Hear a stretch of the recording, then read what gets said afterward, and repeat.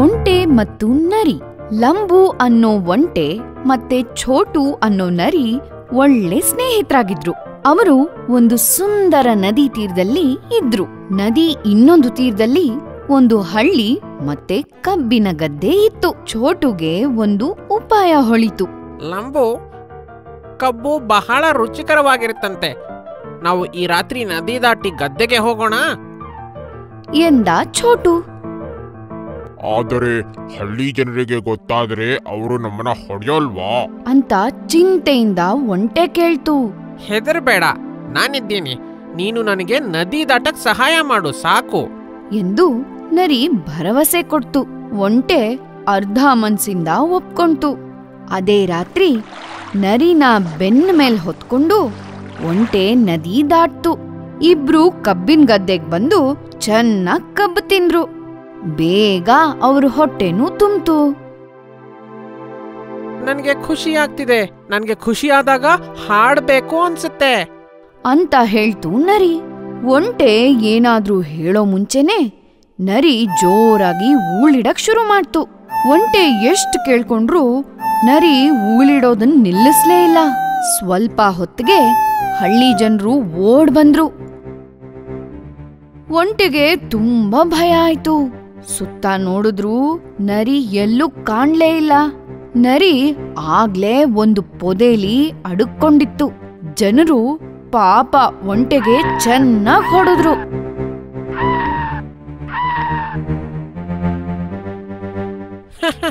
ನಿನ್ಗೆ ಎಲ್ಲೂ ಔತ್ ಕೂರಕ್ಕೆ ಆಗೋಲ್ಲ. ಅಂತ ನರಿ ಹಾಸ್ಯ ಮಾಡ್ತು.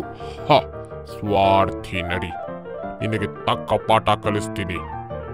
ಅವರಿಬ್ರು ಹಿಂದಿರುಗುವಾಗ ಮತ್ತೆ ನದಿ ದಾಟಕ್ಕೆ ಶುರು ಮಾಡಿದ್ರು.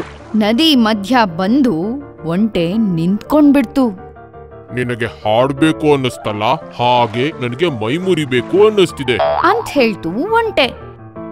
ಅಯ್ಯೋ ಬೇಡ ನಾನ್ ಬಿದ್ದು ಹೋಗ್ತೀನಿ. ಬೇಡ ಬೇಡ. ನರಿ ಬೇಡ್ಕೊಂತು ನಿನ್ನಂಥ ಸ್ವಾರ್ಥಿ ಸ್ನೇಹಿತನ್ಗೆ ಯಾಕೆ ಕರುಣೆ ತೋರಿಸ್ಲಿ? ಅಂತ ಹೇಳಿ ಮೈ ಮುರ್ದೇ ಬಿಡ್ತು. ನರಿ ಜಾರಿ ನೀರೊಳಗ್ ಬಿತ್ತು. ಕೆಟ್ಟ ಕೆಲಸ ಮಾಡಿದ್ರೆ ಕೆಟ್ಟದೇ ಆಗತ್ತೆ. ದಡ್ಡ ಗೆಳೆಯ. ಒಂದು ಅರಮನೆ ಇತ್ತು. ಆ ಅರಮನೆಯಲ್ಲಿ ಒಂದು ವಿಚಿತ್ರ ಇತ್ತು. ಅದೇನು ಗೊತ್ತಾ? ಅಲ್ಲಿ ವಾಸವಾಗಿದ್ದ ಕೋತಿ. ಕೋತಿ ರಾಜನ ಆಪ್ತ ಗೆಳೆಯನಾಗಿತ್ತು. ಮತ್ತೆ ಯಾವಾಗ್ಲೂ ರಾಜನ ಜೊತೆಲೇ ಇರ್ತಿತ್ತು. ರಾಜಂಗೂ ಕೋತಿನ ಕಂಡ್ರೆ ತುಂಬಾ ಇಷ್ಟ. ಒಂದಿನ ರಾಜ ಮತ್ತೆ ಕೋತಿ ಉದ್ಯಾನದಲ್ಲಿ ನಡೆದಾಡ್ತಿದ್ರು. ಅಯ್ಯೋ! ಆಗ ಕೋತಿ ರಾಜನ ಕಾಲಿನ ಹತ್ರ ಬರ್ತಾ ಇರೋ ಹಾವನ್ನ ನೋಡ್ತು.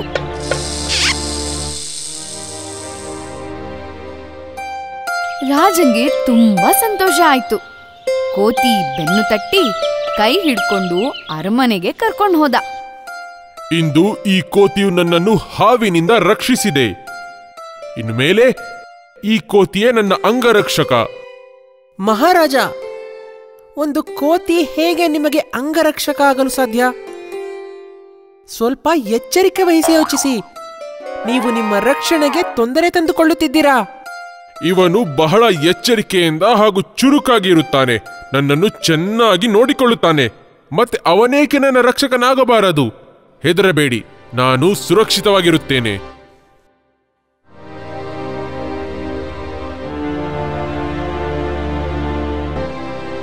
ಒಂದಿನ ರಾಜ ಮಲಗಿದ್ದ. ಆಗ ಒಂದು ನೊಣ ಕಿಟಕಿಯಿಂದ ಒಳಗೆ ಬಂದು ಕೋತಿಯ ಕಿವಿ ಹತ್ರ ಗುಯ್ ಗುಟ್ಟು ಗೆಳೆಯ ಇಲ್ಲಿದ್ದೇನೆ ನಾನು. ಮೂರ್ಖ. ನೊಣ ರಾಜನ ತಲೆದಿಂಬಿನ ಮೇಲೆ ಕುಣಿದಾಡ್ತಿತ್ತು. ಅದನ್ನ ಓಡ್ಸೋಕೆ ಕೋತಿ ಎಷ್ಟೇ ಪ್ರಯತ್ನ ಪಟ್ರು ಆಗ್ಲೇ ಇಲ್ಲ. ನೊಣ ರಾಜನ ಮೂಗಿನ ಮೇಲೆ ಕೂತ್ಕೊಂತು ಏ ಮುಟ್ಟಾಳ ನಮ್ಮ ರಾಜನ ಮೂಗಿನ ಮೇಲೆ ಕೂತ್ಕೋತೀಯ ಎಷ್ಟು ಧೈರ್ಯ ನಿಂಗೆ. ಇರು ನಿನಗೆ ಸರಿಯಾದ ಪಾಠ ಕಲಿಸ್ತೀನಿ. ಅಯ್ಯಯ್ಯೋ ಮಹಾರಾಜ ಮಹಾರಾಜ ಎದ್ದೇಳಿ. ರಾಜ ಕಣ್ಬಿಡ್ತಾನೆ ಮತ್ತೆ ಅವನ್ ಮುಂದೆ ಕತ್ತಿಯನ್ನ ಹಿಡ್ಕೊಂಡಿರೋ ಕೋತಿನ ನೋಡ್ತಾನೆ. ದಯವಿಟ್ಟು ಕ್ಷಮಿಸಿ ಪ್ರಭು ನನ್ನನ್ನು ಕ್ಷಮಿಸಿ ಕ್ಷಮಿಸಿ. ನೊಣ ಹೊಡೆಯಲು ಕತ್ತಿಯನ್ನು ಉಪಯೋಗಿಸುತ್ತಾರ ನೀನು ನನ್ನ ಪ್ರಾಣವನ್ನೇ ತೆಗೆದು ಬಿಡುತ್ತಿದ್ದೆ ಧನ್ಯವಾದಗಳು ಮಂತ್ರಿ. ನೀವಿಲ್ಲದಿದ್ದರೆ ಈ ಕೋತಿ ನನ್ನ ಪ್ರಾಣವನ್ನೇ ತೆಗೆದು ಬಿಡುತ್ತಿತ್ತು ಇವನನ್ನು ಅಂಗರಕ್ಷಕನನ್ನಾಗಿ ಮಾಡಿ ತಪ್ಪು ಮಾಡಿದೆ. ಆದರೆ ಇವನು ಇಲ್ಲಿ ನನ್ನ ಸ್ನೇಹಿತನಾಗಿ ಇರಬಹುದು. ಅಂಗರಕ್ಷಕನಾಗಿ ಅಲ್ಲ. ದಡ್ಡ ಸ್ನೇಹಿತರಿಗಿಂತ ಬುದ್ಧಿವಂತ ಶತ್ರುಗಳೇ ಉತ್ತಮ. ಕರಡಿ ಮತ್ತು ಹುಡುಗರು. ಗೋಲು ಮತ್ತೆ ಮೋಲು ಒಳ್ಳೆ ಗೆಳೆಯರು. ಗೋಲು ಭಯ ಸ್ವಭಾವದವನು ಮೋಲು ಧೈರ್ಯವಂತ ಹುಡುಗ. ಒಂದಿನ ಇಬ್ರು ಪಕ್ಕದ ಊರಿನ ಜಾತ್ರೆಗೆ ಹೊರಟ್ರು. ಮೋಲು ಪಕ್ಕದ ಊರಿಗೆ ಹೋಗಕ್ಕೆ ಕಾಡನ್ ದಾಟಬೇಕು ಅಲ್ವಾ? ನಿನ್ಗೆ ಭಯ ಆಗೋಲ್ವಾ? ಅಂತ ಗೋಲು ಕೇಳ್ದ. ಏ ಗೋಲು ಹೆದರ್ಬೇಡ ಕಣೋ. ಕಾಡಿನ ಪ್ರಾಣಿಗಳೆಲ್ಲ ನನ್ ಗೆಳೆಯರು ಬಾ ಹೋಗೋಣ. ಎಂದು ಹಾಸ್ಯ ಮಾಡಿದ ಮೋಲು ಅವರು ಕಾಡನ್ನ ತಲುಪಿದ್ರು. ಆದ್ರೂ ಗೋಲುಗೆ ಭಯ ಇತ್ತು. ಕಾಡಿನ ಶಬ್ದಗಳು ಅವನನ್ನ ಇನ್ನೂ ಭಯಪಡಿಸ್ತಿದ್ವು. ಮೋಲು ಹಾಡ್ತಾ ಅವನನ್ನ ಹುರಿದುಂಬಿಸ್ತಿದ್ದ. ಸ್ವಲ್ಪ ಹೊತ್ತಿಗೆ ಯಾವುದೋ ಪ್ರಾಣಿಯ ಗುಟುರು ಕೇಳಿಸ್ತು. ಧೈರ್ಯವಂತ ಮೋಲು ಕೂಡ ನಡುತ್ತಿದ್ದ ಏನದು? ಗೋಲು ಕೇಳ್ದ. ಕರಡಿ ಕರಡಿ. ಎಂದ ಮೋಲು ಮೋಲು ಒಂದು ಮರನ ನೋಡ್ದ. ಅವನು ಆ ಮರದ ಹತ್ರ ಓಡಿ ಎತ್ತರಕ್ಕೆ ಹತ್ತಿದ ಗೋಲು ಯೋಚಿಸ್ತಿದ್ದ. ಅವನಿಗೆ ಒಂದು ಉಪಾಯ ಹೊಳಿತು. ಅವನು ಉಸಿರು ಕಟ್ಟಿ ನೆಲದ ಮೇಲೆ ಮಲಗ್ದ. ಕರಡಿ ಅವನ ಹತ್ರ ಬಂದು ಅವನನ್ನ ಮೂಸ್ತು. ಅವನು ಸತ್ತಿದ್ದಾನೆ ಅಂತ ತಿಳ್ಕೊಂಡು ಅದು ಹೊರಟೇ ಹೋಯ್ತು. ಮೋಲು ಮರದಿಂದ ಕೆಳಗಿಳ್ದು ಗೋಲು ಹತ್ರ ಬಂದ. ಏ ಗೋಲು ಆ ಕರಡಿ ನಿನ್ ಕಿವಿನಲ್ಲಿ ಏನೋ ಹೇಳ್ತು. ಏನೋ ಅದು? ಏನ್ ಹೇಳ್ತು? ನಿನ್ನಂಥ ಸ್ವಾರ್ಥಿಗಳಿಂದ ದೂರ ಇರಲು ಎಚ್ಚರಿಕೆ ಕೊಡ್ತು. ಮೋಲು ನಾಚಿಕೆಯಿಂದ ತಲೆ ತಗ್ಗಿಸ್ದ. ಆದ್ರೆ ನಿನ್ನ ಒಳ್ಳೆ ಗೆಳೆಯ. ಈ ಸತಿ ನಿನ್ನನ್ನ ಕ್ಷಮಿಸ್ತೀನಿ. ಇನ್ನೊಂದ್ಸತಿ ತಪ್ಪು ಮಾಡಬೇಡ. ಇಬ್ರು ಜೊತೆಗೆ ಹಳ್ಳಿಗ್ ಹೋದ್ರು. ಕಷ್ಟ ಕಾಲದಲ್ಲಿ ಜೊತೆಗಿದ್ದವನೇ ಸ್ನೇಹಿತ. ಕಳ್ಳಬೆಕ್ಕು ಒಂದು ಉದ್ಯಾನದಲ್ಲಿ ಬಿಟ್ಟು ಅನ್ನೋ ಕೋಗಿಲೆ ಇತ್ತು. ಒಂದು ಮರದ ಮೇಲೆ ಗೂಡು ಕಟ್ಕೊಂಡು ಅದು ವಾಸವಾಗಿತ್ತು. ಅದೇ ಉದ್ಯಾನದಲ್ಲಿ ಕಿಟ್ಟು ಅನ್ನೋ ಕಪ್ಪು ಬೆಕ್ಕು ಇತ್ತು. ಯಾವಾಗ್ಲೂ ಅದರ ಕಣ್ಣು ಕೋಗಿಲೆ ಮತ್ತೆ ಅದರ ಗೂಡಿನ ಮೇಲೇನೇ ಇತ್ತು. ಬಿಟ್ಟುವಿನ ಪುಟ್ಟ ಮರಿಗಳನ್ನ ತಿನ್ನೋ ಆಸೆ ಕಿಟ್ಟುಗೆ. ಆದ್ರೆ ಕೋಗಿಲೆ ತುಂಬಾ ಹುಷಾರಾಗಿ ನೋಡ್ಕೊಳ್ತಿತ್ತು. ಒಂದು ದಿನ ಹೇ ಬಿಟ್ಟು ನನಗಲ್ಲೊಂದು ಮರದ ಹತ್ತಿರ ಜಾಗ ಗೊತ್ತು. ಇಲ್ಲಿಂದ ಸ್ವಲ್ಪ ದೂರ. ಅಲ್ಲಿ ತುಂಬಾ ಹುಳುಗಳಿವೆ. ನೀನ್ ಯಾಕೆ ಹೋಗಿ ನಿನ್ನ ಮರಿಗಳಿಗೆ ತರಬಾರ್ದು?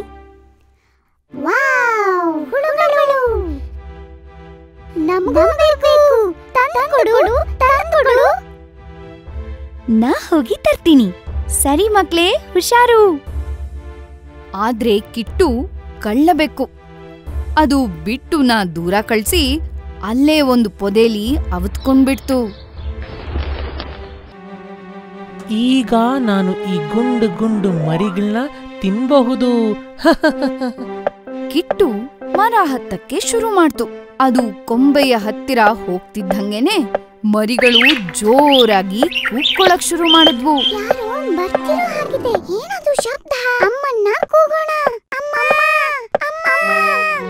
ಕಿಟ್ಟು ಆಯ ತಪ್ಪಿ ಕೊಂಬೆಯಿಂದ ಕೆಳಗ್ ಬಿದ್ದ.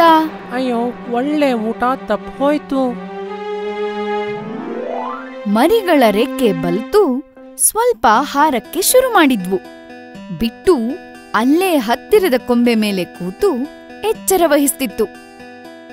ಮರಿಗಳು ಮರದಿಂದ ಕಾಯನ್ನ ಕಿತ್ತು ಕೆಳಗೆ ಕೂತಿದ್ದ ಕಿಟ್ಟು ತಲೆ ಮೇಲೆ ಹಾಕ್ತಾ ಇದ್ವು. ಮರಿಗಳ ರೆಕ್ಕೆ ಬಲಿತಿದ್ರಿಂದ ಬಿಟ್ಟು ಇನ್ನೂ ಎತ್ತರದ ಮರದ ಮೇಲೆ ಗೂಡು ಮಾಡೋಕೆ ಯೋಚಿಸ್ತು.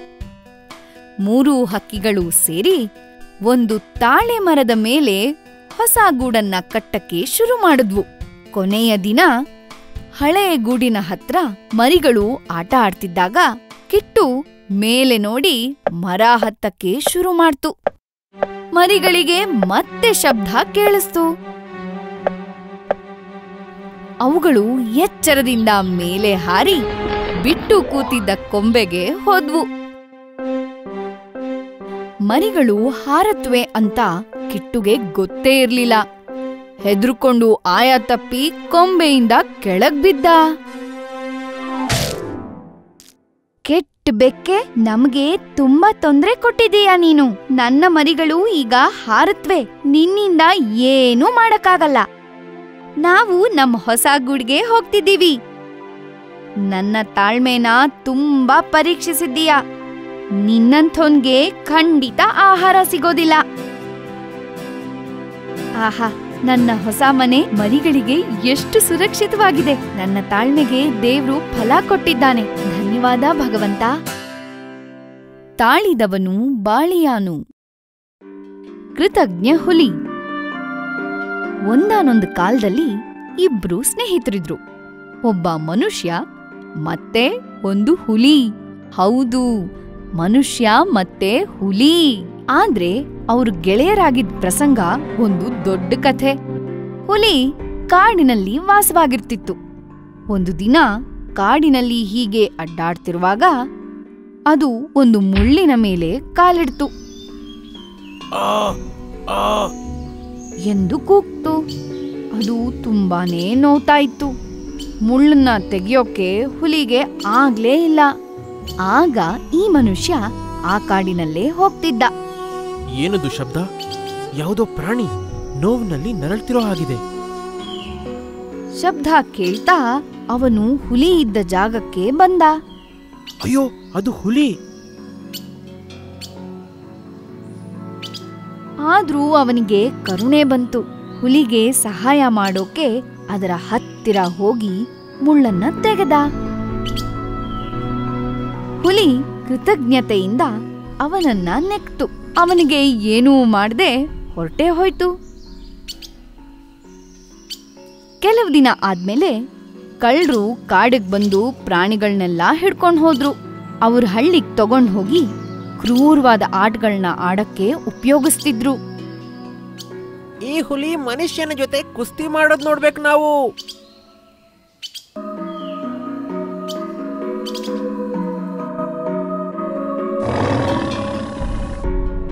ಹುಲಿ ಕೋಪದಿಂದ ಮನುಷ್ಯನ್ ಮೇಲೆ ಹಾರಕ್ಕೆ ತಯಾರಾಯ್ತು. ಆದ್ರೆ ಅಲ್ಲೇ ನಿಂತ್ಬಿಡ್ತು.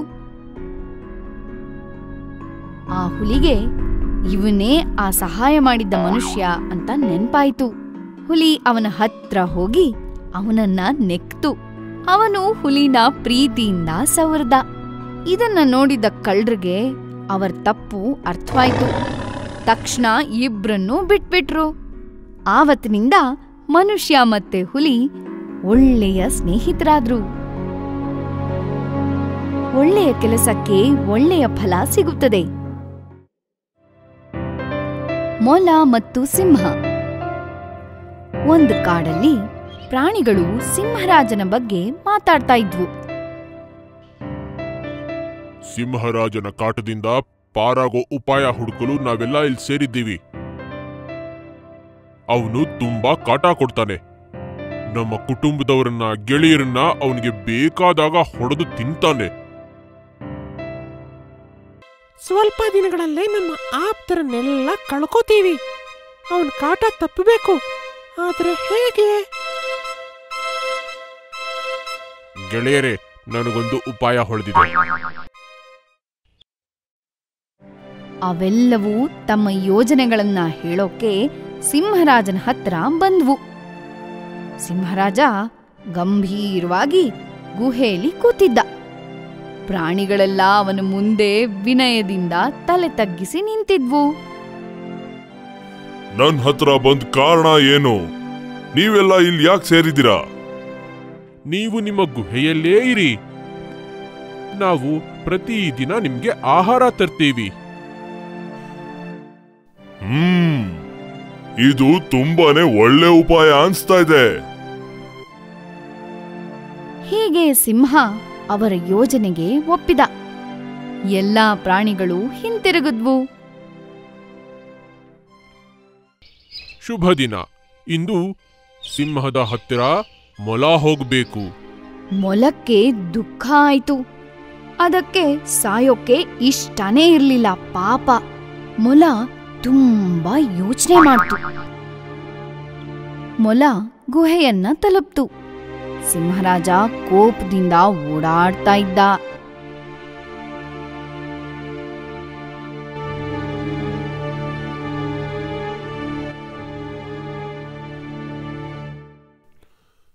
ನೀನು ಎಷ್ಟು ತಡವಾಗಿ ಬಂದಿದ್ಯಾ ಗೊತ್ತಾ? ಎಲ್ಲಿ ನಿನ್ನ ಗುಂಪು? ಒಬ್ಬನೇ ಯಾಕೆ ಬಂದಿದ್ಯಾ? ಒಂದು ಮೊಲ ಇಟ್ಕೊಂಡು ನಾನು ಏನ್ ಮಾಡ್ಲಿ? ನನ್ನ ಅಪಹಾಸ್ಯ ಮಾಡ್ತಾ ಇದ್ದೀರಾ? ಇಲ್ಲ ರಾಜ. ಇಲ್ಲ ರಾಜ. ನಾನ್ ಹತ್ತು ಮೊಲಗಳ ಜೊತೆ ಬರ್ತಿದ್ದೆ. ಆಗ ಆಗ. ಆಗ? ಏನು? ಬೇಗ ಹೇಳು. ಅಲ್ಲಿ ಇನ್ನೊಂದು ಕ್ರೂರ ಸಿಂಹ ಬಂದ. ಒಂಬತ್ತು ಮೊಲಗಳನ್ನ ತಿಂದ್ಬಿಟ್ಟ. ನಾನ್ ತಪ್ಪಿಸ್ಕೊಂಡು ನಿಮ್ಗೆ ಎಚ್ಚರಿಕೆ ಕೊಡಕ್ ಬಂದೆ. ಏನು? ಇನ್ನೊಂದ್ ಸಿಂಹನ? ನನಗಿಂತ ಕ್ರೂರಿ?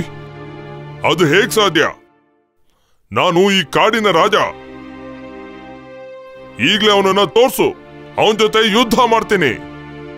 ಈಗಲೇ ಹೋಗೋಣ ಬನ್ನಿ. ಮೊಲ ನಿಧಾನವಾಗಿ ಬಾವಿಯ ಹತ್ರ ಬಂತು. ಅದು ಸಿಂಹಕ್ಕೆ ಬಾವಿಯಲ್ಲಿ ಬಗ್ಗಿ ನೋಡಲು ಹೇಳ್ತು. ಸಿಂಹ ಬಾವಿ ನೀರಲ್ಲಿ ತನ್ನ ಪ್ರತಿಬಿಂಬ ನೋಡ್ತು. ಅದನ್ನ ಬೇರೆ ಯಾವುದೋ ಸಿಂಹ ಅನ್ಕೊಂಡು ಕೋಪದಿಂದ ಘರ್ಜಿಸಿ ಬಾವಿಗೆ ಹಾರ್ತು. ನೆಲಕ್ಕೆ ತನ್ನ ಉಪಾಯದಿಂದ ಸಿಂಹ ಸತ್ತೋಯ್ತು ಅಂತ ನಂಬಕ್ಕೆ ಆಗ್ಲಿಲ್ಲ. ಅದರ ಸಂತೋಷದ ಕೂಗು ಕೇಳಿ ಎಲ್ಲಾ ಪ್ರಾಣಿಗಳು ಹೊರಗೆ ಬಂದ್ವು. ಬಾವಿಯ ಹತ್ತಿರ ಸೇರಿ ಎಲ್ಲಾ ಪ್ರಾಣಿಗಳು ಸಂಭ್ರಮ ಪಟ್ವು ಶಕ್ತಿಗಿಂತ ಯುಕ್ತಿ ಮೇಲು. ಘರ್ಜನೆ ಕಲಿತ ಶೇರು.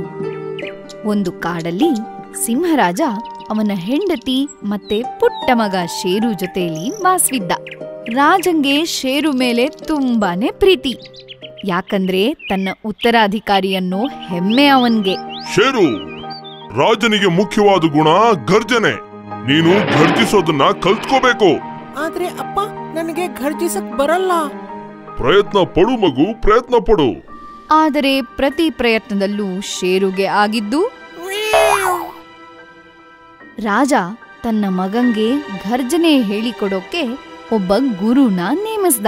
ಮೊದಲು ಬಂದ ಗುರು ಆನೆ. ಆನೆ ಶೇರುಗೆ ಕಲ್ಸೋಕೆ ಪ್ರಯತ್ನಿಸ್ತ ಆದ್ರೆ ಸಿಂಹರಾಜ ತನ್ನ ಮಗ ಆನೆಯ ತರಹ ಗೀಳಿಡೋದನ್ನ ಇಷ್ಟಪಡ್ಲಿಲ್ಲ. ಆನೆನ ಕಳ್ಸ್ಬಿಟ್ಟ. ಆಮೇಲೆ ಬಂತು ಗದ್ದು ಅನ್ನೋ ಕತ್ತೆ ರಾಜಂಗೆ ತನ್ನ ಮಗನ ಕರ್ಕಶ ಧ್ವನಿ ಹೇಳಕ್ಕಾಗ್ಲಿಲ್ಲ. ಕತ್ತೇನು ಓಡಿಸ್ಬಿಟ್ಟ. ಆಮೇಲೆ ಬಂತು ಬೆಕ್ಕು. ಅರೆ, ಶೇರು ಚೆನ್ನಾಗೇ ಮಿಯಾವ್ ಅಂತಾನೆ. ಬೆಕ್ಕು ಹೊರಟೋಯ್ತು. ಸಿಂಹರಾಜಂಗೆ ಇದನ್ನ ನೋಡಿ ತುಂಬಾನೇ ಬೇಜಾರಾಯ್ತು.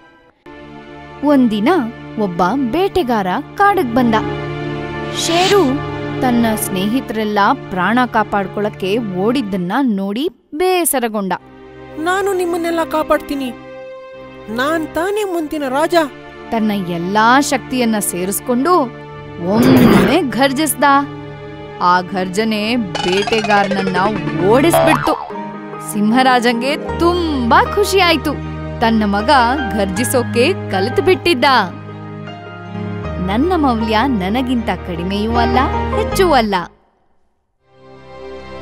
ಸಿಂಹ ಮತ್ತು ಇಲಿ. ಒಂದು ಕಾಡಲ್ಲಿ ಒಂದು ಸಿಂಹ ಇತ್ತು. ಒಂದಿನ ಮಧ್ಯಾಹ್ನ ಆ ಸಿಂಹ ಚೆನ್ನಾಗಿ ನಿದ್ದೆ ಮಾಡಿ ಗೊರ್ಕೆ ಹೊಡಿತಾ ಇತ್ತು.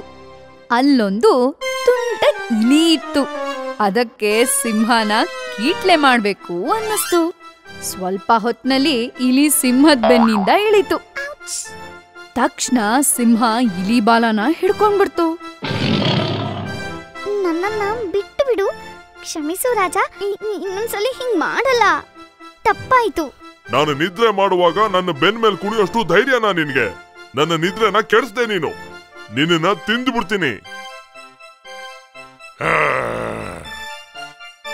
ಬೇಡ ಮಹಾರಾಜ ಬೇಡ. ನನ್ನನ್ ಬಿಟ್ಬಿಡು ದಯವಿಟ್ಟು ಕ್ಷಮಿಸು. ನಾನು ಬದುಕಿದ್ರೆ ಒಂದಿನ ನಿನ್ಗೆ ಸಹಾಯ ಮಾಡ್ತೀನಿ. ನೀನು ಪುಟ್ಟ ಇಲಿ ನಿನ್ನ ನೀನು ನೋಡ್ಕೊಂಡಿದ್ಯಾ? ನೀನು ನನಗೆ ಹೇಗ್ ಸಹಾಯ ಮಾಡ್ತೀಯ? ಹ್ಮ್. ಸರಿ ಪುಟ್ಟ ಇಲ್ಲಿ ಇವಾಗ ನೀನು ಹೋಗು. ಈ ಸಲ ನಿನ್ನನ್ನ ಕ್ಷಮಿಸಿದ್ದೀನಿ.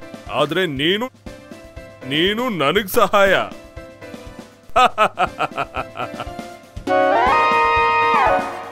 ಕಬಡ್ಡಿ ಕಬಡ್ಡಿ ಕಬಡ್ಡಿ.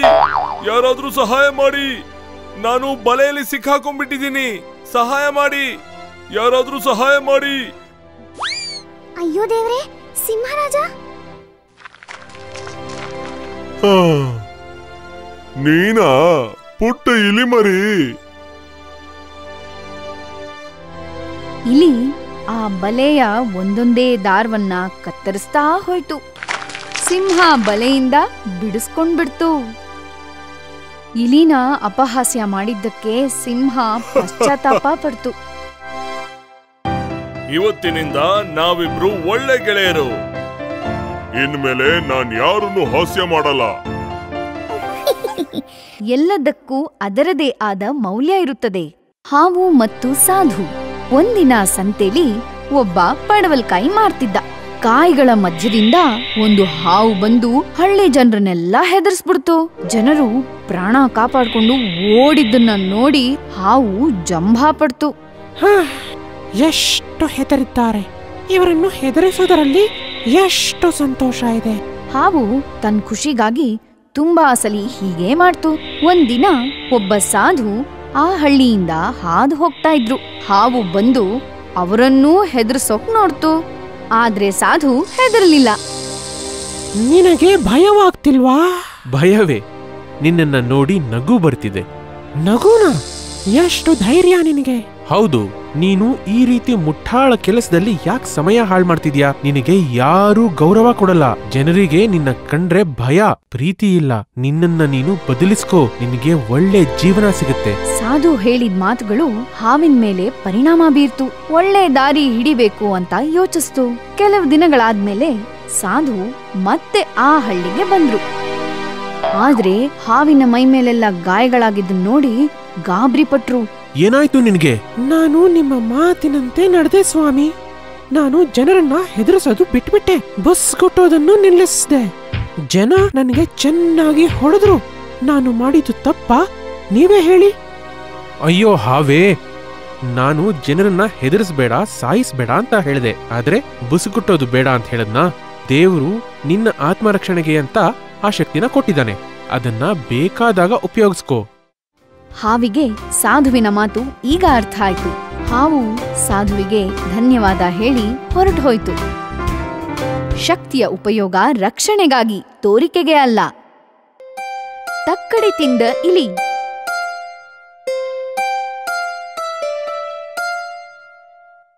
ಒಂದು ಹಳ್ಳಿಲಿ ಜೀವ ಅನ್ನೋ ಒಬ್ಬ ವ್ಯಾಪಾರಸ್ಥ ಇದ್ದ. ಅವನು ಒಂದಿನ ಪಕ್ಕದ ಹಳ್ಳಿಲಿ ಏನಾದ್ರೂ ವ್ಯಾಪಾರ ಹುಡುಕೊಂಡು ಹೊರಟ. ಹಬ್ಬಾ ಈ ಬಿಸಿಲು. ಜೊತೆಗೆ ಈ ಕಬ್ಬಿಣದ ತಕಡಿ ಇದನ್ನ ಹೊತ್ತು ಸುಸ್ತಾಗಿದೆ. ಹಬ್ಬಾ ಎಷ್ಟು ಭಾರ ಇದು. ಸ್ವಲ್ಪ ನೆರಳಲ್ಲಿ ಕೂತು ವಿಶ್ರಾಂತಿ ತಗೊಂಡು ಆಮೇಲೆ ಮುಂದೆ ಹೋಗ್ತೀನಿ. ಅವನಿಗೆ ಅವನ ತಕ್ಕಡಿ ಅಂದ್ರೆ ತುಂಬಾನೇ ಇಷ್ಟ. ಯಾಕಂದ್ರೆ ಅದು ಅವನ ಅಜ್ಜ ಕೊಟ್ಟ ತಕ್ಕಡಿ. ನಾನು ಇದನ್ನ ಶಕ್ತಿ ಮನೆಯಲ್ಲಿ ಇಡೋದೇ ಸರಿ. ಶಕ್ತಿ ನಾನು ಕೆಲಸದ ಮೇಲೆ ಪಕ್ಕದ ಹಳ್ಳಿ ಹೋಗ್ತಾ ಇದ್ದೀನಿ. ಈ ಕಬ್ಬಿಣದ ತಕ್ಕಡಿ ತುಂಬಾ ಭಾರ. ಇದನ್ನ ನಿನ್ನ ಹತ್ರ ಸ್ವಲ್ಪ ದಿನ ಇಟ್ಕೋ. ನಾನು ಹಿಂದಿರುಗದ ಮೇಲೆ ಇದನ್ನ ತಗೊಂಡು ಹೋಗ್ತೀನಿ. ಓ ಯೋಚನೆ ಮಾಡ್ಬೇಡ ಜೀವ. ನೀನು ಬರೋವರೆಗೂ ಇದನ್ನ ಇಟ್ಕೊಂಡಿರ್ತೀನಿ. ಜೀವ ಶಕ್ತಿಗೆ ಧನ್ಯವಾದ ಹೇಳಿ ಹೊರಟು ಹೋದ. ಈ ತಕಡಿ ತುಂಬಾ ಬೆಲೆ ಬಾಳುತ್ತೆ ಅನ್ಸುತ್ತೆ. ಇದನ್ನ ನಾನೇ ಇಟ್ಕೊಂಡ್ಬಿಡ್ತೀನಿ. ಜೀವನಿಗೆ ಕೊಡಲ್ಲ. ಒಂದಿನ ಜೀವ ತಕ್ಡಿನ ಇಸ್ಕೊಳಕ್ಕೆ ಶಕ್ತಿ ಮನೆಗೆ ಬಂದ. ಬಾ ಜೀವ ಕೂತ್ಕೋ. ಸ್ವಲ್ಪ ತಿನ್ನಕ್ಕೇನಾದ್ರೂ ಕೊಡ್ತೀನಿ. ಬೇಡ ಬೇಡ. ನನಗೆ ಸುಸ್ತಾಗಿದೆ. ಈಗ ಮನೆಗೆ ಹೋಗಬೇಕು. ನನ್ನ ತಕಡಿನ ಕೊಡು ನಾನು ಹೊರಡ್ತೀನಿ. ಆ, ಅದು ಅದು ಜೀವ ಇಲಿಗಳು ನಿನ್ ತಕಡಿನ ತಿನ್ಬಿಟ್ವು. ಇಲಿಗಳ ಕಾಟ ಸಹಿಸ್ಕೊಳಕ್ಕೆ ಆಗ್ತಾ ಇಲ್ಲ. ಜೀವನಿಗೆ ತುಂಬಾ ಬೇಜಾರಾಯ್ತು. ತಕ್ಷಣ ಅವನಿಗೊಂದು ಉಪಾಯ ಹೊಳಿತು. ಹೇ ಶಕ್ತಿ ನಿನ್ನ ಮಗನನ್ನು ಕಳಿಸು. ನಾನು ನಿಮ್ಗೆಲ್ಲ ಉಡುಗೊರೆ ತಂದಿದ್ದೀನಿ. ಅದನ್ನ ಅವನ ಕೈಯಲ್ಲಿ ಕೊಟ್ಟು ಕಳಿಸ್ತೀನಿ ಓ ಖಂಡಿತ.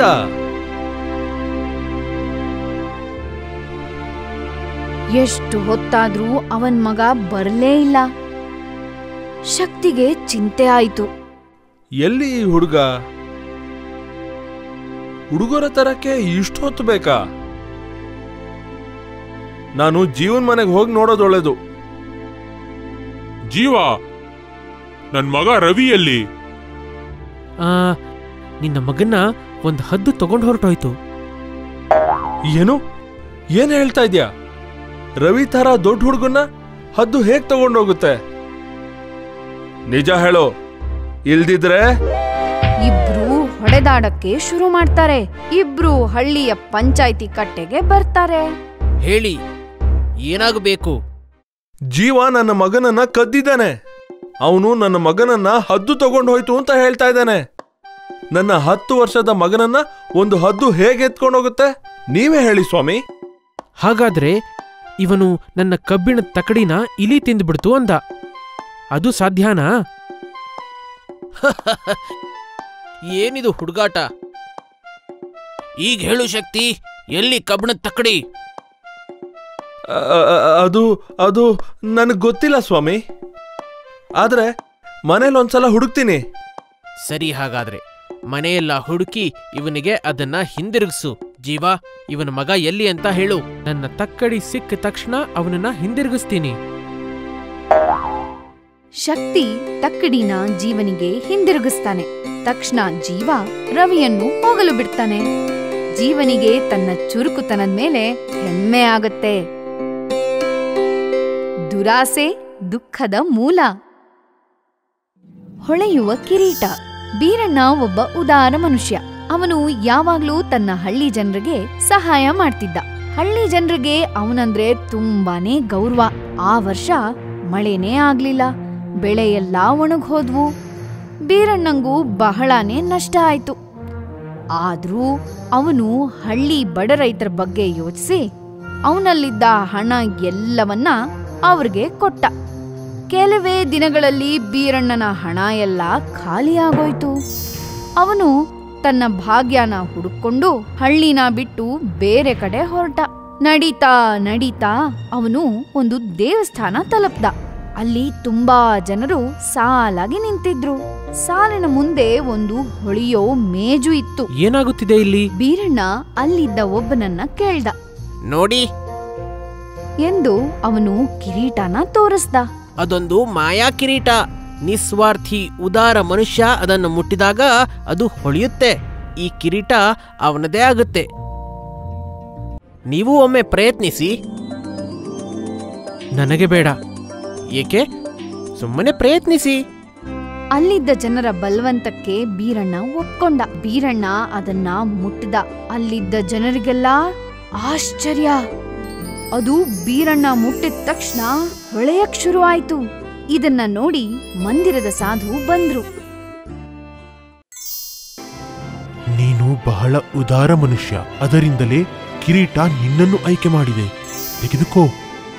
ಬೀರಣ್ಣನು ಸಂತೋಷದಿಂದ ತಗೊಂಡು ಎಲ್ಲರಿಗೂ ಅಭಿನಂದನೆ ಹೇಳಿ ಕಿರೀಟನ ಹಳ್ಳಿಗೆ ತಗೊಂಡು ಹೋದ ಅದು ಅವನ ಭಾಗ್ಯವನ್ನೇ ಬದಲಿಸ್ಬಿಡ್ತು. ಅವನು ನಷ್ಟವಾದ ಸಂಪತ್ತನ್ನೆಲ್ಲ ಮತ್ತೆ ಗಳಿಸ್ದ.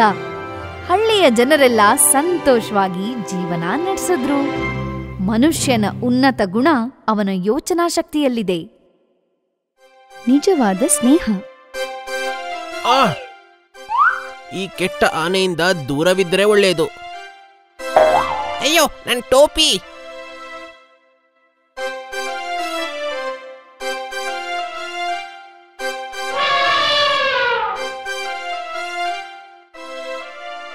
ಈ ಆನೆಗೆ ಏನಾಗಿದೆ? ಬಹಳ ಮಂಕಾಗಿದ್ದಾನೆ. ಊಟನೂ ಮಾಡ್ತಿಲ್ಲ, ಸ್ನಾನಾನೂ ಮಾಡಿಲ್ಲ. ದೂರವೇ ಇರೋಣ, ರಾಜರಿಗೆ ಈಗಲೇ ತಿಳಿಸೋಣ.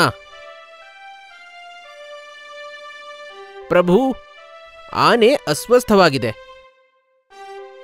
ಊಟನೂ ಮಾಡಿಲ್ಲ, ಸ್ನಾನನೂ ಮಾಡ್ತಿಲ್ಲ. ಮಹಾಮಂತ್ರಿ, ಒಮ್ಮೆ ಹೋಗಿ ನೋಡಿ ಬನ್ನಿ. ಆನೆಗೆ ಏನಾಗಿದೆ ಅಂತ. ಆಗ್ಲಿ ಪ್ರಭು. ಗಜರಾಜ ಏನಾಯ್ತು?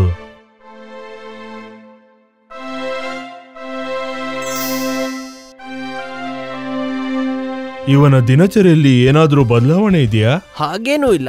ಆದ್ರೆ ಒಂದ್ ನಾಯಿ ಯಾವಾಗ್ಲೂ ಬಂದು ಆನೆ ಜೊತೆ ಆಟ ಆಡ್ತಿತ್ತು. ನೀನು ಮೋಜುಗಾರ ನಾಯಿ. ನಿನ್ ಜೊತೆ ಆಡಕ್ಕೆ ನಂಗೂ ಇಷ್ಟ. ಆ ನಾಯಿ ಬಹಳ ಚೂಟಿ ಆಗೈತೆ ಇದನ್ನ ನಾನ್ ತಗೊಂಡೋಗ್ಬೇಕು. ಅಣ್ಣ ಸೊಮೆ ಈ ನಾಯಿ ನಿಮ್ದಾ? ಹೌದು. ನಾನು ಈ ನಾಯಿನ ಖರೀದಿ ಮಾಡಬೇಕು ಅಂತ ಇದ್ದೆ. ದುಡ್ಡು ಕೊಟ್ಟು ತಗೊಂಡೋಗ್ಲಾ? ಖಂಡಿತ. ನಮಗೆ ಹಣ ಕೊಟ್ಟು ಅದನ್ನು ಕರೆದುಕೊಂಡು ಹೋಗಬಹುದು. ತಗೊಳ್ಳಿ ಹಣ ಇಷ್ಟೇ ಆಗಿದ್ದು. ಮಹಾರಾಜ, ಆನೆ ತನ್ನ ಗೆಳೆಯನಿಂದ ಬೇರಾಗಿದೆ. ಆನೆ ಜೊತೆ ಆಡ್ತಿದ್ದ ಒಂದು ನಾಯಿ ಬಗ್ಗೆ ಸೈನಿಕ ಹೇಳ್ದ. ನಿನ್ನೆ ಯಾರೋ ಒಬ್ಬ ಅಪರಿಚಿತ ಬಂದು ನಾಯಿನ ತಗೊಂಡು ಹೋಗ್ಬಿಟ್ಟಿದ್ದಾನೆ. ನೀವು ಆನೆ ಗೆಳೆಯನನ್ನ ಮತ್ತೆ ಕರ್ಕೊಂಬಂದ್ರೆ ಒಳ್ಳೇದು. ಒಂದು ಉಪಾಯ ಇದೆ. ನಾಯಿನ ರಾಜರಿಗೆ ಹಿಂತಿರುಗಿಸಿ ಅಂತ ಡಂಗೂರ ಸಾರಿಸಿ.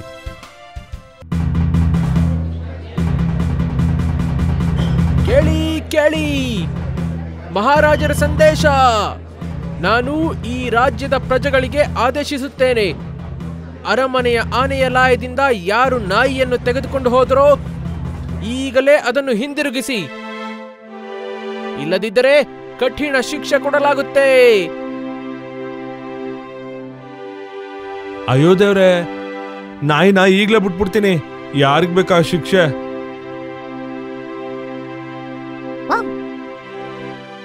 ಆನೆ ಮತ್ತೆ ಚೇತರಿಸಿಕೊಂಡಿದೆ. ಧನ್ಯವಾದ ಮಂತ್ರಿ. ಸ್ನೇಹವನ್ನು ಕೊಳ್ಳಲೂ ಮಾರಲೂ ಆಗದು. ಎರಡು ಮೇಕೆಗಳು. ಒಂದಿನ ಒಂದು ಮೇಕೆ ನದಿ ದಡದಲ್ಲಿ ಮೇಯ್ತಾ ಇತ್ತು ಆ ತೀರದ ಹುಲ್ಲು ಇನ್ನೂ ಹಸಿರಾಗಿದೆ. ಅದರ ರುಚಿ ನೋಡಬೇಕು. ನದಿ ದಾಟೋದು ಹೇಗೆ ಅಂತ ಯೋಚಿಸ್ತಿದ್ದಾಗ ಒಂದು ಮರದ ದಿಮ್ಮಿನ ನೋಡ್ತು. ಇದರ ಮೇಲಿಂದ ನದಿ ದಾಟ್ತೀನಿ. ಅದು ದಿಮ್ಮಿ ಮೇಲೆ ಹತ್ತಿದ್ದಂಗೆ ಮತ್ತೊಂದ್ ತುದಿಯಿಂದ ಇನ್ನೊಂದ್ ಮೇಕೆ ಬರುತ್ತಿರೋದು ನೋಡ್ತು. ನಾನು ಮೊದಲು ಹೋಗ್ತೀನಿ. ಅಂತ ಆ ಮೇಕೆ ಹೇಳ್ತು. ಏಕೆ? ನಾನು ಮೊದಲು ಹೋಗ್ತೀನಿ. ಇಲ್ಲ ಇಲ್ಲ ದಿಮ್ಮಿ ಮೇಲೆ ನಾನೇ ಮೊದಲು ಹತ್ತಿದ್ದು. ನಾನೇ ಮೊದಲು. ಅಂತ ಇನ್ನೊಂದ್ ಮೇಕೆ ಹೇಳ್ತು. ಮೊದಲನೇ ಮೇಕೆ ಯೋಚಿಸ್ತು. ಅದರ ತಾತ ಹೇಳಿದ ಕಥೆ ಅದಕ್ ನೆನಪಾಯ್ತು. ಇದೇ ರೀತಿ ಎರಡ್ ಮೇಕೆಗಳು ಒಂದಕ್ಕೊಂದು ದಾರಿ ಬಿಡದೆ ದಿಮ್ಮಿ ಮೇಲೆ ಜಗಳ ಆಡಿ ಕೊನೆಗೆ ನದಿಗೆ ಬಿದ್ದು ಮುಳುಗೋದ್ವಂತೆ. ಮೊದಲನೇ ಮೇಕೆ ಬುದ್ಧಿ ಉಪಯೋಗಿಸಿ. ಹೇ, ಇದು ಜಗಳದ ಸಮಯ ಅಲ್ಲ. ಬುದ್ಧಿ ಉಪಯೋಗಿಸೋಣ. ನಾನು ಬಗ್ಗಿ ಕೂರ್ತೀನಿ, ನೀನು ನನ್ನ ಮೇಲಿಂದ ಜಿಗಿದು ಇನ್ನೊಂದು ತೀರಕ್ ಹೋಗು. ಅಂತ ಹೇಳಿ ಮೊದಲನೇ ಮೇಕೆ ಬಗ್ಗಿ ಕೂತ್ಕೊಂತು. ಎರಡನೇ ಮೇಕೆ ಜಿಗ್ದು ಇನ್ನೊಂದು ಬದಿಗೆ ಹೋಯ್ತು. ಧನ್ಯವಾದ ಗೆಳೆಯ ನೀನು ಬಹಳ ಬುದ್ಧಿವಂತ. ಅವರಿಬ್ರು ಅವರವರ ದಾರಿಲಿ ಹೋದ್ರು. ಯೋಚಿಸಿ ಕೆಲಸ ಮಾಡಬೇಕು. ಚತುರ ನರಿ.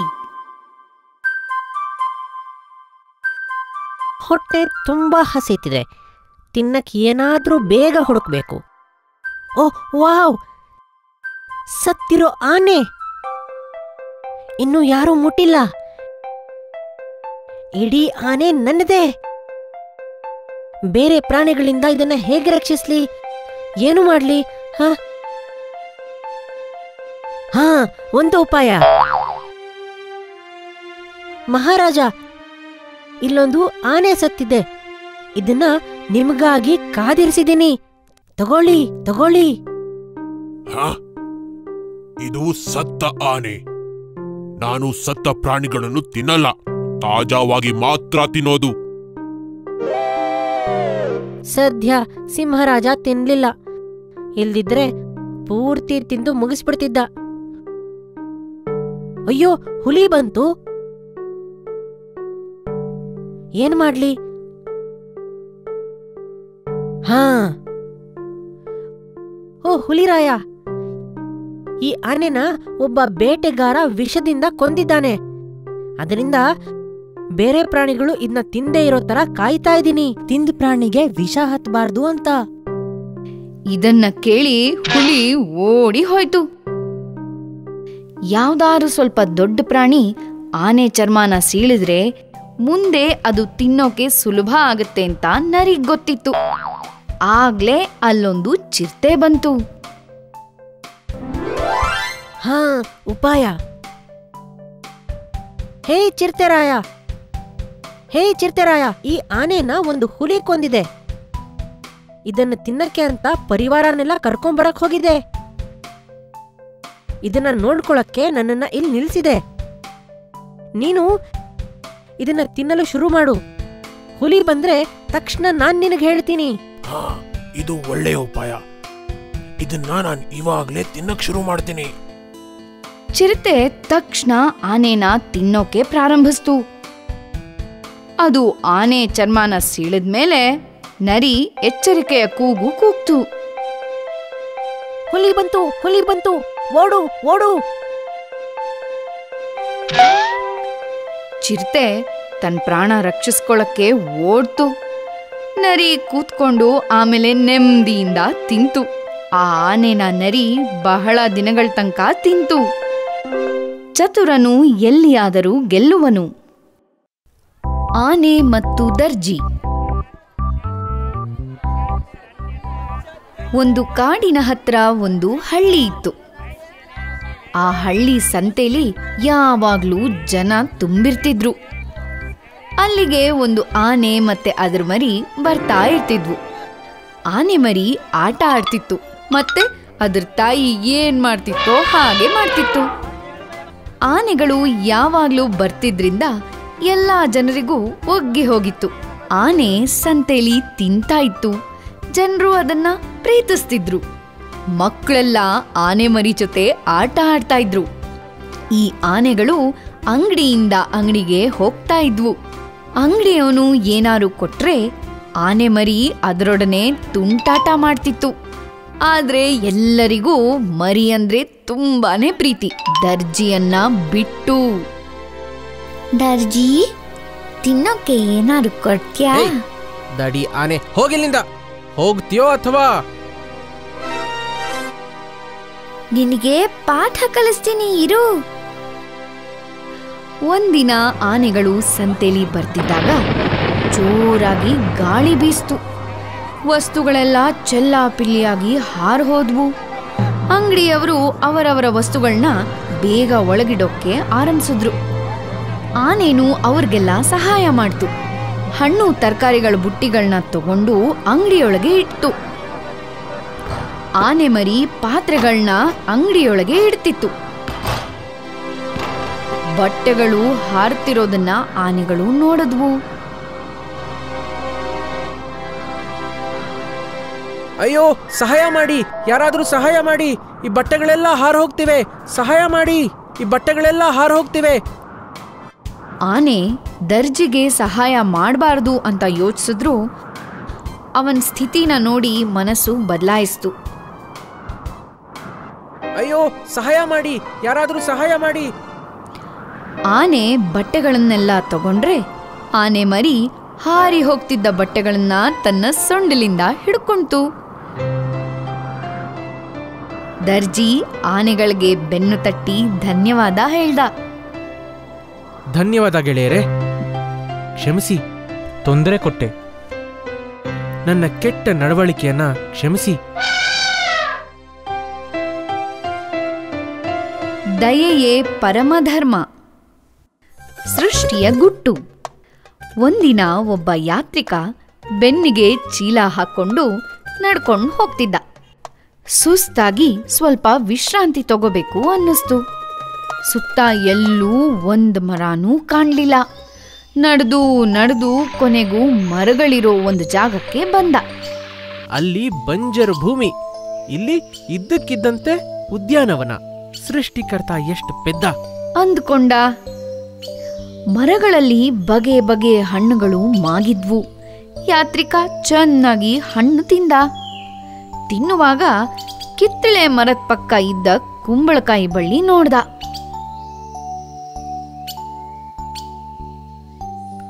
ಎಷ್ಟು ದೊಡ್ಡ ಗುಂಡು ಗುಂಡು ಕಾಯಿ, ಅದು ತೆಳುವಾದ ಬಳ್ಳಿಯಲ್ಲಿ.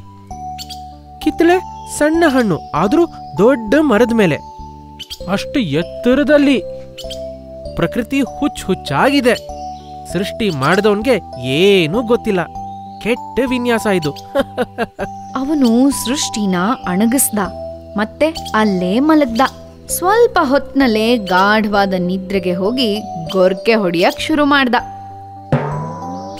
ಇದ್ದಕ್ಕಿದ್ದಂಗೆ ಏನೋ ಧಡ್ ಅಂತ ಸದ್ದಾಯ್ತು. ಗಾಬರಿಯಿಂದ ಎದ್ದ ಸುತ್ತಲೂ ನೋಡ್ದ. ಅಲ್ಲಿ ಒಂದು ಕಿತ್ಲೆ ಇತ್ತು. ಅವನ್ ತಲೆ ಮೇಲೆ ಬಿದ್ದಿದ್ದು ಬರೀ ಒಂದು ಕಿತ್ಲೆ ಹಣ್ಣು. ಆಗ ಅವಂಗೆ ಸೃಷ್ಟಿ ಗುಟ್ಟು ಗೊತ್ತಾಯ್ತು. ಅಯ್ಯೋ ನನ್ನ ತಲೆ ಮೇಲೆ ಕುಂಬಳಕಾಯಿ ಬಿದ್ದಿದ್ರೆ ನನ್ನ ಗತಿ? ಅಬ್ಬಾ! ಅಲ್ಲಿ ಬಂಜರು ಭೂಮಿ ಇಲ್ಲಿ ಉದ್ಯಾನವನ. ಕುಂಬಳಕಾಯಿ ನೆಲದಲ್ಲಿದ್ರೇನೆ ಕ್ಷೇಮ. ಪ್ರತಿ ಸೃಷ್ಟಿಯ ಹಿಂದೇನೂ ಒಂದು ಕಾರಣ ಇರುತ್ತೆ. ಚತುರ ಮೊಲ ಒಂದು ದೊಡ್ಡ ಕಾಡಲ್ಲಿ ಒಂದು ದೊಡ್ಡ ಆನೆಯ ಹಿಂಡು ಇತ್ತು. ಅವೆಲ್ಲ ಮರದಿಂದ ಎಲೆಗಳನ್ನು ತಿಂದು ಕಾಡಿನ ಕೊಳದಿಂದ ನೀರು ಕುಡಿತಿದ್ವು. ಬೇಸ್ಗೆ ಶುರುವಾಗಿ ಕೊಳ ಬೇಗ ಬತ್ತಿ ಹೋಗ್ತಿತ್ತು. ಆದ್ರೆ ಅವುಗಳ ರಾಜಂಗೆ ಇದರ ಅರಿವು ಇತ್ತು. ಅವನು ಆನೆಗಳ ಹಿಂಡನ್ನ ಹತ್ತಿರದ ಬೇರೆ ಕಾಡಿಗೆ ಕರ್ಕೊಂಡು ಹೊರಟ. ಅಲ್ಲಿ ಇನ್ನೂ ದೊಡ್ಡ ಕೊಳ ಇತ್ತು. ಆನೆ ಹಿಂಡು ಆ ಕೊಳಕ್ಕೆ ಬಂತು. ಆದ್ರೆ ಆನೆಗಳನ್ನ ಅಲ್ಲಿದ್ದ ಮೊಲಗಳು ಮತ್ತು ಇತರ ಪ್ರಾಣಿಗಳು ಸ್ವಾಗತಿಸಲೇ ಇಲ್ಲ. ಮೊಲ ಆನೆಗಳನ್ನ ಅಲ್ಲಿಂದ ಓಡಿಸೋಕೆ ಉಪಾಯ ಹುಡುಕ್ತು. ಮಾರನೇ ದಿನ ಮೊಲಗಳ ಒಡೆಯ ಆನೆಗಳ ರಾಜನ ಹತ್ರ ಬಂತು. ಆನೆರಾಯ ನಮ್ಮ ಚಂದ್ರದೇವರಿಗೆ ನಿಮ್ಮ ಮೇಲೆ ತುಂಬಾ ಕೋಪ ಬಂದಿದೆ. ಏಕೆ? ಆನೆರಾಯ ನೀವು ನಮ್ಮ ಮೊಲಗಳನ್ನೆಲ್ಲ ತುಳಿದು ನಮಗೆ ಬಹಳ ತೊಂದರೆ ಕೊಟ್ಟಿದ್ದೀರಾ? ನಿಮಗೆ ತಕ್ಕ ಶಿಕ್ಷೆ ಕೊಡಲು ಚಂದ್ರದೇವರು ನಿಮ್ಮನ್ನ ಕೊಳದ ಹತ್ತಿರ ಕರೆದಿದ್ದಾರೆ. ಆನೆ ಒಪ್ಕೊಂತು ಅದೇ ಸಂಜೆ ಆನೆ ಮತ್ತೆ ಮೊಲ ಕೊಳದ ಹತ್ರ ಬಂದ್ವು. ಚಂದಿರ ಹೊಳೆಯುತ್ತಿತ್ತು. ಕೊಳದಲ್ಲಿ ಅದರ ಪ್ರತಿಬಿಂಬ ಬಿದ್ದಿತ್ತು. ಚಂದ್ರದೇವರು ನಿಮ್ಮ ಹತ್ರ ಮಾತಾಡೋಲ್ಲ. ಅವರಿಗೆ ನಿಮ್ಮ ಮೇಲೆ ತುಂಬಾ ಕೋಪ ಬಂದಿದೆ. ನೀವು ನಮ್ಮ ಕಾಡಿನ ಪ್ರಾಣಿಗಳಿಗೆ ತೊಂದರೆ ಕೊಟ್ಟಿದ್ದೀರಾ? ನೀರು ಕುಡಿಯಲು ಕೊಳಕ್ಕೆ ಬಂದ ಪುಟ್ಟ ಪುಟ್ಟ ಪ್ರಾಣಿಗಳಿಗೆ ಹಿಂಸೆ ಕೊಟ್ಟಿದ್ದೀರಾ? ಇದೆಲ್ಲ ಚಂದ್ರ ದೇವರಿಗೆ ಇಷ್ಟವಿಲ್ಲ. ನಿಮ್ಮನ್ನು ಈ ಕಾಡಿನಿಂದ ಹೋಗಲು ಹೇಳಿದ್ದಾರೆ. ಆನೆಗೆ ದಿಗ್ಭ್ರಮೆ ಆಯ್ತು. ನಾವು ಎಲ್ಲಿ ಹೋಗೋದು? ನಮಗೂ ನೀರು ಬೇಕು. ಹತ್ತಿರದ ಹುಲ್ಲುಗಾವಲಲ್ಲಿ ಒಂದು ಕೊಳ ಇದೆ. ನಿಮಗೆಲ್ಲ ಅದು ಸಾಕು. ಅಲ್ಲಿಗೆ ಹೋಗಿ. ಇಲ್ಲದಿದ್ದರೆ ಚಂದ್ರದೇವರು ಕ್ಷಮಿಸಲ್ಲ. ಪೆದ್ದು ಆನೆ ಭಯದಿಂದ ಒಪ್ಕೊಂಡು ಮಾರನೇ ದಿನಾನೇ ಆ ಕಾಡನ್ನ ಬಿಟ್ಟು ಹೋಯ್ತು. ಆ ಕಾಡಿನ ಪ್ರಾಣಿಗಳೆಲ್ಲ ಸುಖವಾಗಿ ಇದ್ವು. ಶಕ್ತಿಗಿಂತ ಯುಕ್ತಿ ಮೇಲು. ನರಿಯ ಕುಟುಂಬ. ಒಂದು ಕಾಡಿತ್ತು. ಅಲ್ಲಿ ಒಂದು ಸಿಂಹ ಅದರ ಕುಟುಂಬದ ಜೊತೆ ವಾಸ ಮಾಡ್ತಿತ್ತು.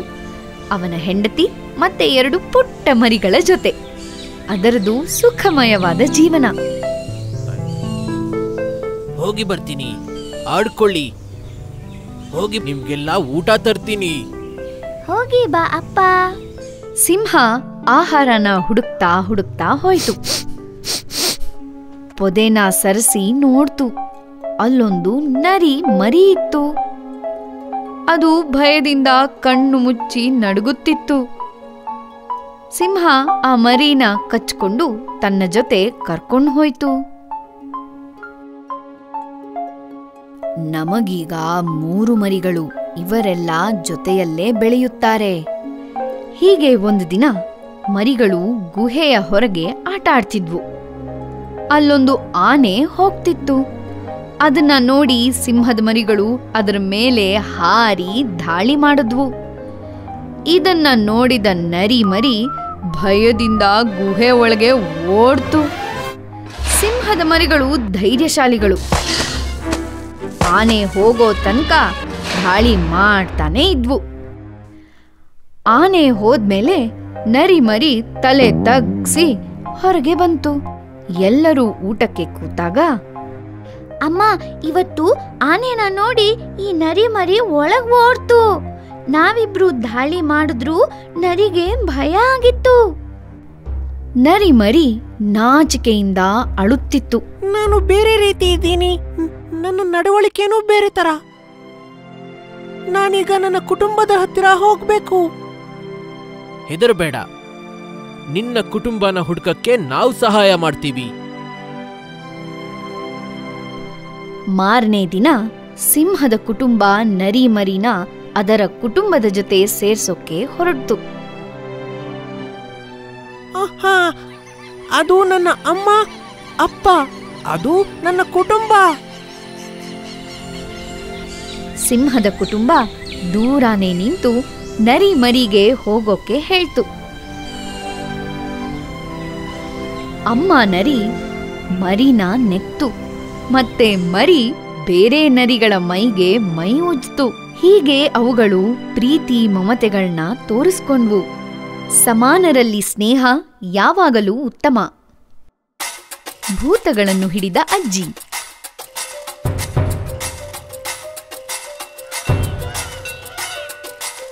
ಏನದು ವಿಚಿತ್ರ ಶಬ್ದ? ಓ ಓ ಗೊತ್ತಿಲ್ಲ. ಯಾರೋ ಗಂಟೆ ಹೊಡೆದಂಗಿದೆ. ದೆವ್ವ? ಅಯ್ಯೋ ಅಯ್ಯೋ ಭೂತಾನ. ಅಯ್ಯಯ್ಯೋ ಕಾಡಲ್ಲಿ ದೆವ್ವ ಇದೆ. ಅಯ್ಯಯ್ಯೋ ದೆವ್ವ. ಅಯ್ಯಯ್ಯೋ ಭೂತ. ಭೂತ ಭೂತ. ಅಯ್ಯೋ ಯಾರ್ ಹೇಳಿದ್ದು ಅದು ದೆವ್ವ ಅಂತ? ನೀವೇನಾರ್ ನೋಡಿದ್ರಾ? ಹಾ ಅಲ್ಲ ಆದ್ರೆ ಆದ್ರೆ ಅದು ದೆವ್ವಾನೇ ಆಗಿರ್ಬೇಕು. ಹ್ಮ್. ನಾವು ನಿಜ ತಿಳಿಯೋ ತನಕ ಅದನ್ನ ಒಪ್ಪೋಕ್ಕಾಗೋಲ್ಲ ಸತ್ಯ ಕಾಡಿನ ಒಳಗೆ ಅಡಗಿದೆ. ಈ ಸಮಸ್ಯೆ ಹಿಂದಿನ ರಹಸ್ಯ ಏನು ಅಂತ ಬಿಡಿಸ್ತೀನಿ. ನಾನು ಕಾಡೊಳಗೆ ಹೋಗ್ತೀನಿ. ಬೇಗ ಬರ್ತೀನಿ.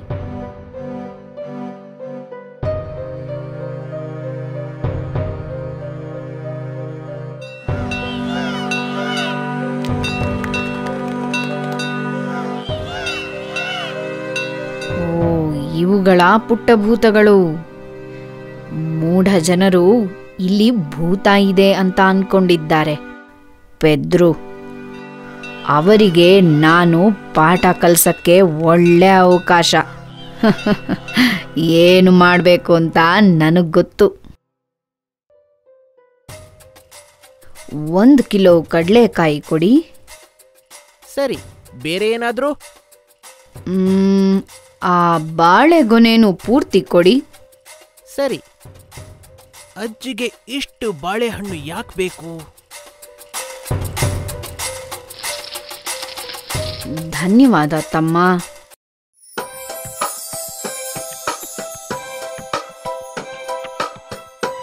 ತುಂಟ ಕಪಿಗಳೇ ಪುಟ್ಟ ಭೂತಗಳೇ ನಿಮ್ಮ ತುಂಟಾಟನ ಇವತ್ತು ನಿಲ್ಲಿಸ್ತೀನಿ ನಾನು. ನನ್ನ ಉಪಾಯ ಫಲಿಸ್ತು. ಇದೇ ಸರಿಯಾದ ಸಮಯ.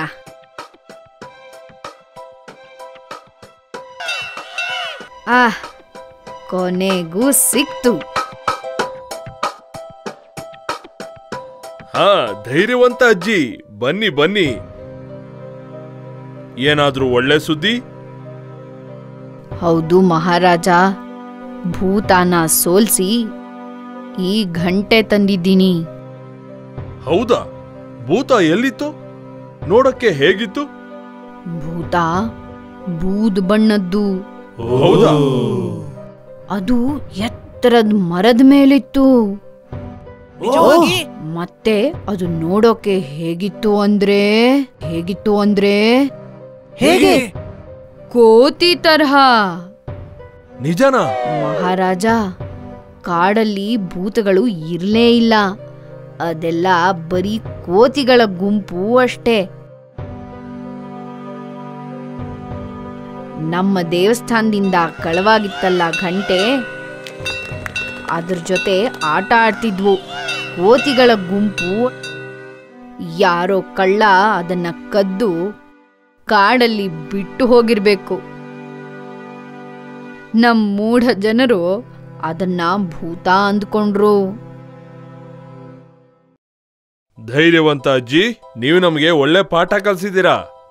ಧನ್ಯವಾದಗಳು. ಏನನ್ನಾದರೂ ಪರೀಕ್ಷಿಸಿ ನೋಡೋ ತನಕ ನಂಬಬಾರದು. ನಂಬೋಕೆ ಮೊದಲು ನಿಜ ಅಂತ ಖಾತ್ರಿ ಮಾಡ್ಕೊಳ್ಬೇಕು. ಬುದ್ಧಿ ಉಪಯೋಗಿಸಿ ಸಮಸ್ಯೆನ ಬಗೆಹರಿಸ್ಕೋಬೇಕು. ಅಷ್ಟೇ ಅಲ್ಲ ಅಜ್ಜಿ ಹಾಗೆ ನಾವೆಲ್ಲ ಧೈರ್ಯವಂತರಾಗಿರ್ಬೇಕು. ಜನರೇ ಅಜ್ಜಿಯ ಧೈರ್ಯಕ್ಕೆ ತಕ್ಕಂತೆ ಬಹುಮಾನ ಕೊಡಬೇಕು ತಾನೆ? ಅಜ್ಜಿಗೆ ಜಯವಾಗಲಿ ಅಜ್ಜಿಗೆ ಜಯವಾಗಲಿ ಅಜ್ಜಿ ತಗೊಳ್ಳಿ ಈ ಕಾಣಿಕೆನ. ಓ ಧನ್ಯವಾದ ಮಹಾರಾಜ. ಅಜ್ಜಿಗೆ ಜಯವಾಗಲಿ ಅಜ್ಜಿಗೆ ಜಯವಾಗಲಿ ಭಯ ಚಿಕ್ಕದು ಅದರ ನೆರಳು ದೊಡ್ಡದು. ಪುಟ್ಟ ಗುಬ್ಬಿ ದೊಡ್ಡ ಆಲದ ಮರ. ಒಂದು ದಿನ ಪುಟ್ಟ ಗುಬ್ಬಿ ಹಾರ್ತಾ ಇತ್ತು. ಇದ್ದಕ್ಕಿದ್ದಂಗೆ ಅದಕ್ಕೆ ಏನೋ ಹೊಡೆದು ಕೆಳಗೆ ಬಿತ್ತು. ಅದರ ಒಂದು ರೆಕ್ಕೆಗೆ ಗಾಯ ಆಯಿತು. ಅದಕ್ಕೆ ಹಾರೋಕೆ ಆಗೋಲ್ಲ ಅಂತ ತಿಳಿತು ನನ್ನ ಕುಟುಂಬ, ಗೆಳೆಯರು ಯಾರೂ ಇಲ್ಲ. ಈ ಮುರಿದ ರೆಕ್ಕೆ ಜೊತೆ ಹೇಗೆ ಮನೆಗೆ ಹೋಗೋದು? ಅಲ್ಲೇ ಇದ್ದ ಒಂದು ಮರದಲ್ಲಿ ಆ ದಿನ ಇರಲು ನಿರ್ಧಾರ ಮಾಡ್ತು. ಅದು ಬಾಳೆ ಮರದ ಹತ್ರ ಬಂತು. ಬಾಳೆ ಮರವೇ ನಿನ್ನ ಕೊಂಬೆಯಲ್ಲಿ ನನಗೆ ಜಾಗ ಕೊಡ್ತೀಯಾ? ಛೀ ಹೋಗು. ಗುಬ್ಬಿ ಬೇಸರದಿಂದ ಮುಂದಿನ ಮರದ ಹತ್ರ ಹೋಯ್ತು. ಅದು ಸೇಬೆ ಮರ. ತರಲೆ ಹಕ್ಕಿ. ನಿನಗೆ ಚೂರು ಜಾಗ ಕೊಡಲ್ಲ. ಹೋಗು ಆ ಕಡೆ.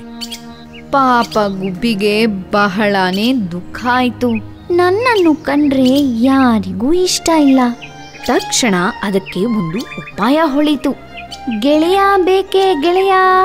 ಮುದ್ದು ಮುದ್ದಾದ ಪುಟ್ಟ ಗೆಳೆಯ? ಹೇ ಪುಟ್ಟ ಗುಬ್ಬಿ. ಆಲದ ಮರ ಕೂಗ್ತು. ಹೇ ಗುಬ್ಬಿ ನಾನು ನಿನ್ನ ಗೆಳೆಯ ಆಗ್ತೀನಿ. ನನ್ನ ಬಳಿ ತುಂಬಾ ಕೊಂಬೆಗಳಿವೆ. ನೀನು ಆರಾಮಾಗಿ ಇಲ್ಲಿರಬಹುದು. ಆಲದ ಮರ ನೀನೆಷ್ಟು ದಯಾಳು. ನಾನು ನಿನ್ ಜೊತೆ ಇರ್ತೀನಿ. ಅವನು ಹಾಗೆ ಹೇಳಿದಾಗ ಆಕಾಶದಿಂದ ಒಂದು ಧ್ವನಿ ಕೇಳ್ಬಂತು.